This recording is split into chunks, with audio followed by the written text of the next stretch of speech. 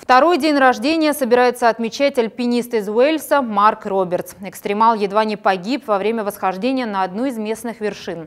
Все происходящее фиксировала закрепленная на шлеме видеокамера. Сверху сорвалась глыба льда. Скалолаз одной рукой попытался прикрыть голову, но не удержался на склоне и полетел вниз.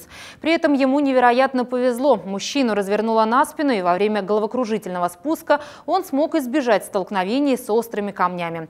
Альпинист пролетел несколько сотен метров и отделался легкими ушибами. Нашла его команда спасателей.